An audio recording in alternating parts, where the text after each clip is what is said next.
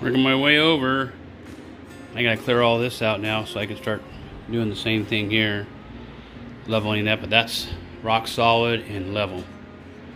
It's got a center block about no more than six feet apart. So. It's good. Alright folks, here's some of the damage that I may have to do is I have to repair Now all this. I'm laying plastic.